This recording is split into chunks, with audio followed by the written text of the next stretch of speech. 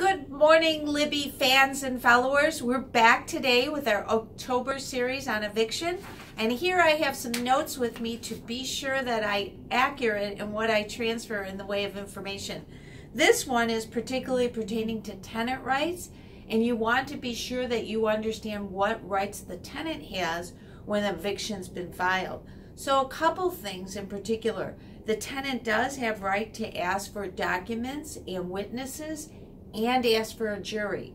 So let's go through that. They have the right to serve the landlord for documents, they have a right to bring in witnesses, and they have a right to bring in a jury.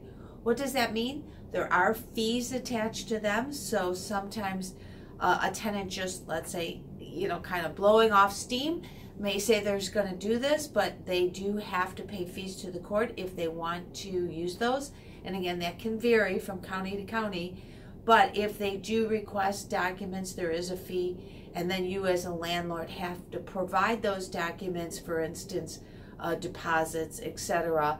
And of course, there would be a fee to you. So when they ask for a jury, there's generally a fee to have a jury instead of just having the judge decide it. And there's a, a fee attached to them getting a subpoena to bring in specific witnesses.